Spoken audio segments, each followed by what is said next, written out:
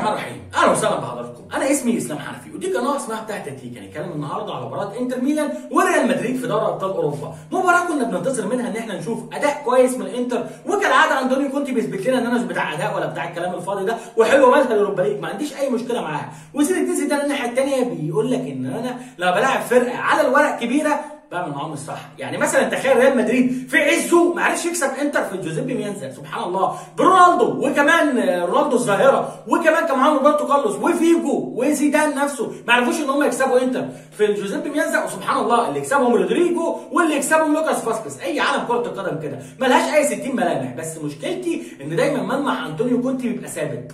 3 4 1 2 أرتورو فيدال بيكون صانع ألعاب. اللي هو انت إزاي يا عم الحاج؟ ما عنديش مشكلة. العب بيه صناع ألعاب. بس مشكلتي إنك لما تكون حاطط له دكه اريكسون فدي مع احترامي ليك هي أزمة. آه هو ممتاز جدا في الحالة الدفاعية وترجع تدافع بيه وهتقلب الطريقة 3 5 2 بس ما عندوش فكرة هجومية خالص إن هو يمد لك الاثنين مهاجمين بأي كور بينية أو أي كور فيها رمى إن هو ممكن يبان إن هو صنع ألعاب. آه بيزيد. آه الراجل كان ليه كورة خطيرة. الناس كانت بتقول إن هي ضربة جزاء وممكن تكون ضربة جزاء. هي نفس اللعبتين شبه بعض للأمانة بتاعت ناتشو اللي اتحسبت ضربة جزاء. على باريلا والكرة بتاعت أرتورو فيدال اللي اتحسبت ما اتحسبتش حاجة لما فاران اتدخل معاه. بس لما فاران دخل مع الناس كده شكت إن هي ضربه جزاء ما هي ممكن تتحسب آه بس بصراحة رد فعل أرتورو فيدال كان مبالغ فيه قوي ويستاهل الطرد بصراحة. فموضوع إن هو اتظلم إن هو خد ما خدش ضربة جزاء ممكن يكون نوعا ما صح.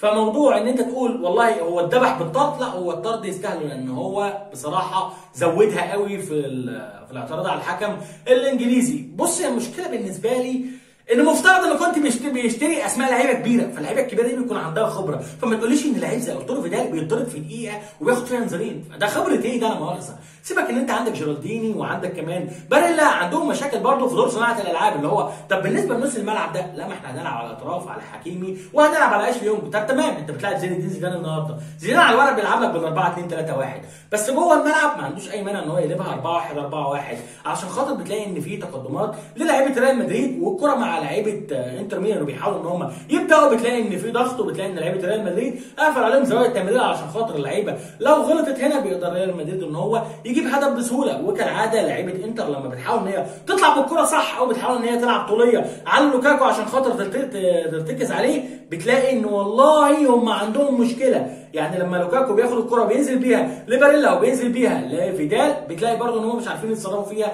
ولا هنعمل إيه. بتلاقي إن كمان لعيبة ريال مدريد قدرت إن هي ترجع بسرعة جدا لأماكنها وترجع بسرعة جدا إن هي تلعب تحت الكورة وتحاول تلعب على المرتدات. حتة صح قوي من زيدان إن هو بيرمي إيدن هازارد على أشرف حكيمي. دايما زيدان بيحب يثبت لأشرف حكيمي إن أنت بتهاجم بس وإن مفيش back في العالم بيهاجم بس غيرك أنت ومارسيلو. فأنت ومارسيلو تلعبوا مع بعض في ريال مدريد. كانت هتكون مشكلة شوية بصراحة يعني لأن أشرف حكيمي بيهاجم كتير وهو قرر إن أنا هلعب من وراه. خليه هو يزيد أنا هلعب من وراه ايدن هازارد كمان نقلب الطريقة 4 4 2 في الحاله الدفاعية ويلا يا عم اللي عايز يزيد يزيد يا جماعة على الأطراف. كل طرف هيزيد هيكون وراه واحد ماريانو دياز هيكون ثابت في العمق وهيتحرك على الأطراف علشان خاطر يحاول إن هو يساعد دفاعيا لوكاس فاسكس ويساعد دفاعيا فرناند مندي ويساعد كمان مارتن أوديجار اللي ممكن تلاقيه فجأة كده من لعيب بيلعب بصنع ألعاب ينزل box to box عادي علشان خاطر توني كروز بيتيح له الموضوع ده إن هو بينزل تحت يبقى مساك ثالث علشان خاطر يدي للعيبة الأريحية إن هي تلعب بعرض الملعب علشان خاطر الملعب يبقى واسع زيادة علشان خاطر لعيبة ريال مدريد تقدر إن هي تقفل أكبر مساحة قدام لعيبة إنتر ميلان فتلاقي لعيبة إنتر ميلان اللي هم عندهم عجز أساسا على الإبداع تلاقيهم ما بيعملوش أي حاجة جوه الملعب غير إن هم بيباصوا لبعض كور قصيرة. لعيبة إنتر ميلان لو قعدت تدور على الفرص اللي عملوها الشوط الأول مفيش غير هي الكرة بتاع ضربة الجزاء. ريال مدريد قدر إن هو يخلق فرص يعني الكرة بتاعت فرناند مندي اللي هو سبحان الله يعني أنت في الست ياردة شوط على شمالك معدوله لا أنا هلعب عرضيه براحتك يا اعمل اللي انت عايزه. أنتوا كده كده متعبين نفسيا. الشوط الأول بيخلص على 1-0 لا نفكر إن إحنا نشتغل ناحية الشمال شوية. نزل بريزيتش مكان لوتارو مارتينيز واطلع طلع باستوني وانزل مكانه. دامبروزيو علشان خاطر أدي حرية شوية لأشرف حكيمي علشان خاطر مش حكيمي مش عارف يهاجم علشان خاطر مقفول عليه. لأ ده في مشكلة وراه عشان خاطر بلعب وراه سكرينير فلأ ارجع سكرينير ناحية الشمال واحط مكانه دامبروزيو وطير بقى يا عم اشرف براحتك أنا ظبطتها لك أهو. طير أنت والناحية الثانية برضه اضغط عليهم.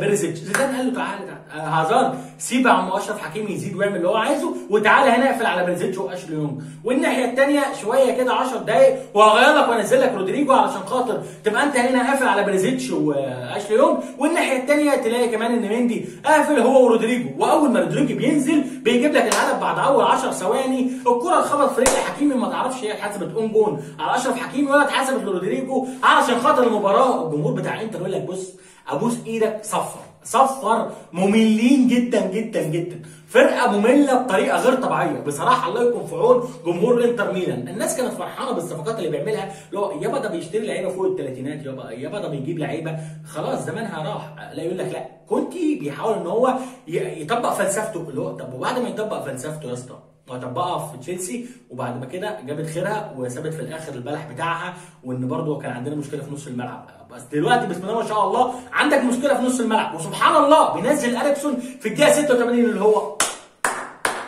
الله على أخلاقك يا فخر الكونتي.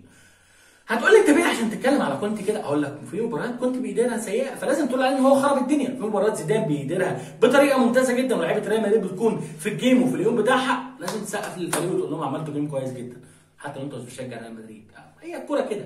إنما هتقعد تطبل دايما لمدرب وهتقعد تطبل دايما لمدرب وهتقول مع احترامي الكذا ومع احترامي. عمرك ما هتقول رأي من دماغك وهتلاقي نفسك فجأة كده بتمشي زي ما الناس ما عايزة. وأنا بقول لك مباراة النهارده بتثبت قد إيه أنطونيو كونتي مدرس كيمياء رخم وما بيحبش غير الحاجات اللي في دماغه واللي نجحته قبل كده وخلاص يابا الحاجات دي اتهرست واتحفظت.